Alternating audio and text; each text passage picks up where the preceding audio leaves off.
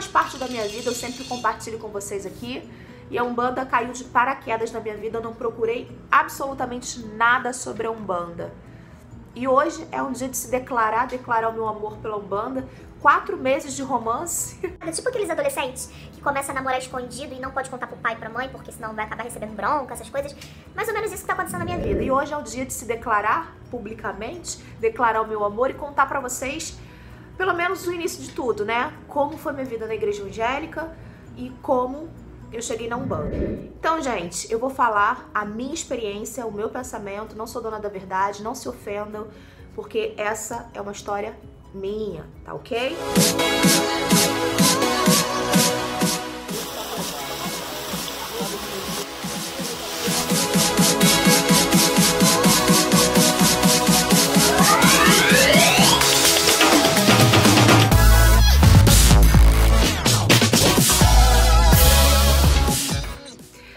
Sete anos de idade, eu fui pra igreja, levei minha mamãezinha. Mãe, me leva lá pra brincar de Lego na escolinha dominical?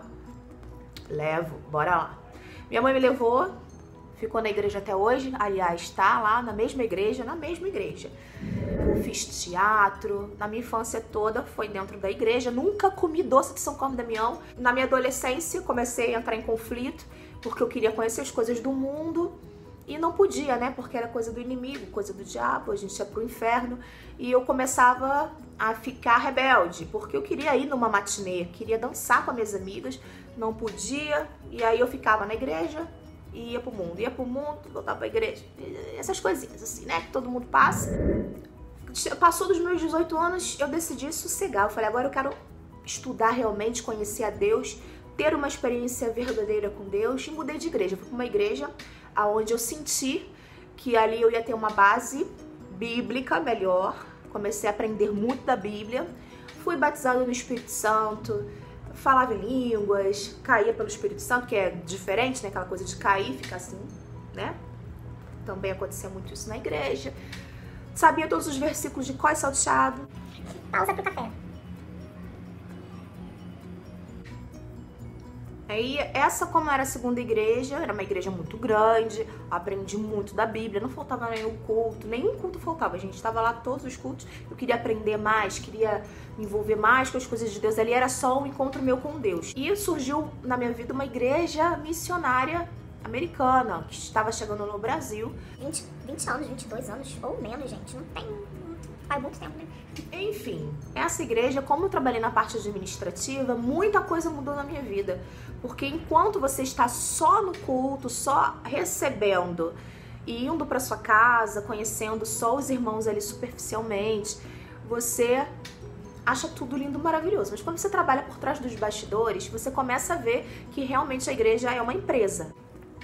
Começou a me incomodar muito a questão de você ver que um irmão está pedindo uma cesta básica e a prioridade da igreja é promover um evento, uma reunião com pessoas com nomes requisitadas no mundo gospel, enquanto um irmão está precisando de um botijão de gás, precisando de, de uma cesta básica, aquilo ali não era tão importante.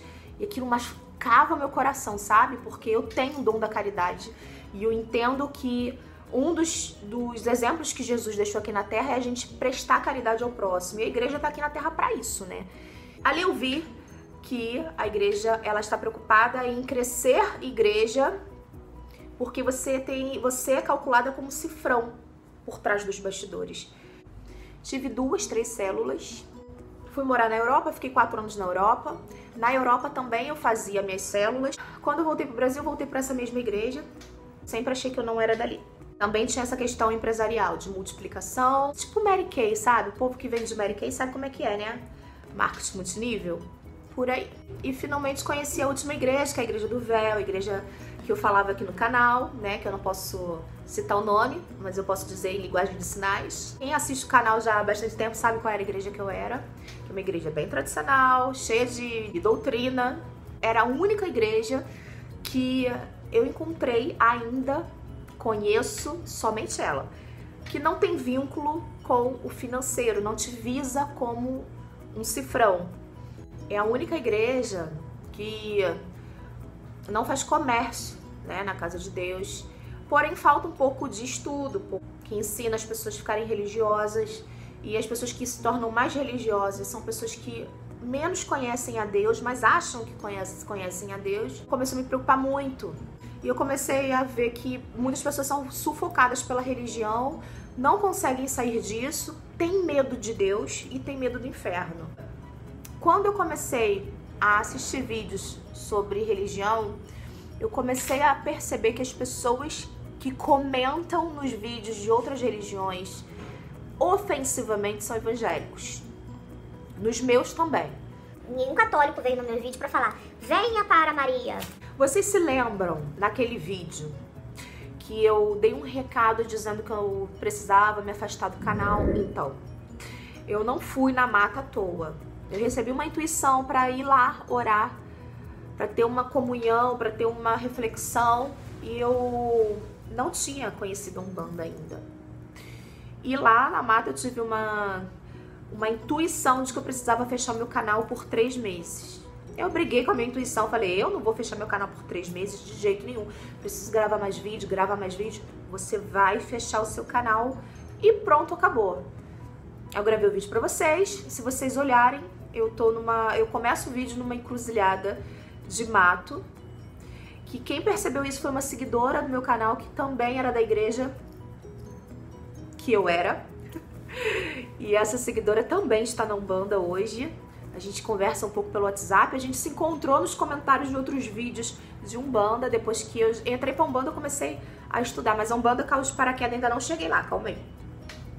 E eu comecei esse vídeo uh, na encruzilhada na mata, né? Dizendo que eu ia fechar o canal. Eu precisava desse tempo pra começar a me conhecer, começar a me entender. E a intuição falou que eu precisava de três meses. Fechei o canal por três meses, fui obediente e aconteceu tudo isso na minha vida, que a Umbanda entrou na minha vida. Como que eu tive a primeira experiência com Umbanda? Que foi quando eu estava em casa, deitada no meu sofá, assistindo televisão e mexendo no, no meu próprio canal no YouTube, vendo comentários, olhando meus próprios vídeos, já nessa pausa dos três meses. E aí apareceu uma sugestão de vídeos. E apareceu um vídeo de uma pessoa que era evangélica e passou a ser um bandista. E eu gostei muito do semblante dessa pessoa. Foi uma pessoa que me passou paz, me passou uma, uma energia muito boa. E eu decidi assistir esse vídeo. Porque eu não conhecia ninguém que fosse evangélico e passasse a ser um bandista, porque a gente conhece só ao contrário, né? Então eu fiquei curiosa, eu falei, vou assistir o que, que ela tem para dizer. Assisti o vídeo dela, ela pregou na Bíblia praticamente a Umbanda. Eu não sabia que a Umbanda era cristã, fiquei sabendo nesse dia. O argumento dela foi muito bom. Eu senti paz, senti luz naquilo que eu estava vivenciando ali naquele vídeo.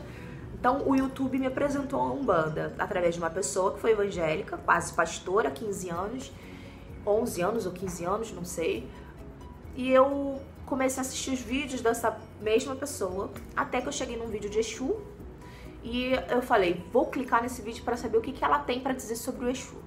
Mas não era o, o, o vídeo falando sobre o Exu, era o Exu incorporado numa pessoa que ela conhecia, não tinha imagem, só tinha uma foto, mas era uma entrevista com o celular gravado. O próprio Exu contando. Eu fiquei com medo, confesso para vocês que eu fiquei com medo porque eu não estava acostumada. Aliás, eu sempre ouvi que o Exu é demônio, né? A gente aprende isso que é demônio.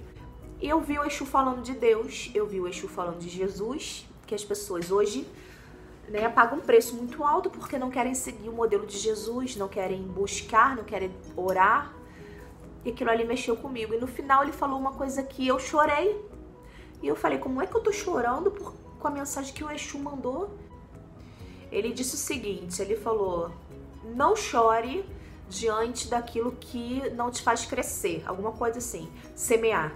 Não semeie sua lágrima naquilo que não vai florescer, alguma coisa assim. E aquele momento me fez chorar, mexeu comigo, mexeu no meu coração, tocou no meu coração, fiquei emocionada. Eu falei, como que um Exu traz uma palavra que mexe comigo se ele é demônio? Aí começou minha cabeça a dar ó. Aí eu conversei com essa pessoa, a dona do canal, ela me colocou num grupo de WhatsApp que foi magnífico uh, no começo de tudo, né? Foi tudo o começo que eu comecei a ler muitas mensagens, participei pouco, mas eu lia muita coisa dali. E ali, no, no, nesse grupo de WhatsApp, tinham muitos evangélicos que passaram a ser umbanda. E nos comentários do vídeo dela também tinham muitos evangélicos que passaram a ser umbanda. Eu falei, gente, que loucura é essa? E aquilo começou a estimular uma vontade de conhecer a Umbanda. Ali estava começando tudo. Aliás, eu já tinha começado lá na mata, porque eu fui descobrir que eu sou filha de Oxóssi. Vamos lá. Minha televisão pifou do quarto. Pifou. Ok, não tem problema. Fiquei com a televisão da sala. A televisão da sala também pifou e pronto. Eu comecei a, a ficar neurótica. Eu falei, não, é porque eu estou mexendo com essas coisas erradas, né? Então acaba que a gente atrai coisa negativa. Não é nada disso. Tudo é motivo de alguma coisa, né? Porque a igreja evangélica ela ensina a gente transferir a culpa para alguém. Tinha um motivo de eu ficar sem televisão? Fiquei sem televisão, na sala e no quarto, com defeito. Para quê? Para estudar, gente. Foi aí que eu comecei a me dedicar mais ainda, porque eu comecei a ler Umbanda, comecei a estudar teologia, comecei a ver também sobre kardecismo, muitas dúvidas começaram a aparecer e eu precisava conhecer um centro de Umbanda. Cadê a coragem? Foi quando a minha intuição voltou. Gente, eu falo intuição porque uh, na igreja evangélica a gente aprende que é o Espírito Santo, né? Eu vou trazer em outros vídeos como funciona a hierarquia no, na Umbanda, sobre entidades, orixás. Futuramente a gente vai falar muito sobre isso também, meus pais de cabeça, como eu descobri. E aí a intençãozinha veio e falou: olha, você podia chamar aquela pessoa que é seguidora do seu canal, que você só viu uma vez, você não tem intimidade com ela, pra você conhecer a Umbanda com ela. Eu? Eu não tenho intimidade com essa pessoa. Como é que eu vou chamar essa pessoa que eu só vi uma vez, não sei nem nada da vida dela? Sei que ela é uma pessoa bacana, porque eu vi uma vez, conversei um pouco, mas não faz sentido, né, gente? Essa pessoa me mandou uma mensagem no WhatsApp. Não foi coincidência, né? Comecei a falar para ela que eu tinha vivenciado isso, estava com muita curiosidade. E essa pessoa também tinha curiosidade, mas nunca teve coragem de dizer para ninguém. É. E não podia expressar as dúvidas. E uma pessoa convidou, eu senti paz no convite. Ela me mandou uma foto do pessoal do, do centro eu falei, gente, quanta gente iluminada, porque eu sou muito de olhar nos olhos, sabe, gente? É, eu vejo a foto de uma pessoa ou converso com uma pessoa e eu falo, hum, tem algo bom aí. Essa mediunidade intuitiva que fala comigo, entra na rua aqui, ó. Não entra nessa rua aqui. Aí quando eu vou para essa rua aqui, eu descubro que essa rua aqui aconteceu um tiroteio, aconteceu um acidente. Essa é um uma mediunidade, mediunidade intuitiva. E eu aceitei o convite dessa pessoa, fui. Fui com essa amiga seguidora do canal, que eu só vi uma vez. E a sensação que eu tive é de que aquele lugar ali era o meu lugar. Antes de começar, eu me senti em paz, eu senti que eu já era daquele lugar. Bom, eu estou nesse mesmo lugar desde janeiro, janeiro, fevereiro, março, abril, Cinco meses? Janeiro, fevereiro, março, abril, maio. Maio, quatro meses. Quatro meses, apenas quatro meses, gente. A gente ainda tá no, no primeiro amor da Umbanda. Mas são muitas experiências, já tenho muita coisa para contar para vocês. Muita gente vai para se consultar, para pegar o axé, né, das entidades, fazer o passe, sair dali limpa. Então, gente, o que, que mudou de fato na minha vida? Eu comecei a me conhecer de verdade. Eu comecei a entender que as entidades, os orixás que a gente tem, pai, mãe de cabeça, padrinho, madrinha, tudo isso influencia muito na nossa personalidade, na nossa característica. Eu achava que eu era uma pessoa estranha. Eu achava que por que, que eu chorava tanto? Porque tem o chum na minha coroa. E agora tudo faz muito mais sentido. Ir a um centro e sentar para conversar com um preto velho, com um caboclo, pedir um aconselhamento do que a gente está vivendo faz toda a diferença. Um novo rumo que a gente toma, tudo com base em Deus, no nosso Pai Maior. Tudo para o nosso crescimento espiritual, para o nosso amadurecimento. Tudo em favor da caridade, do amor. E eu vejo tanta gente que precisava desses aconselhamentos e tem preconceito.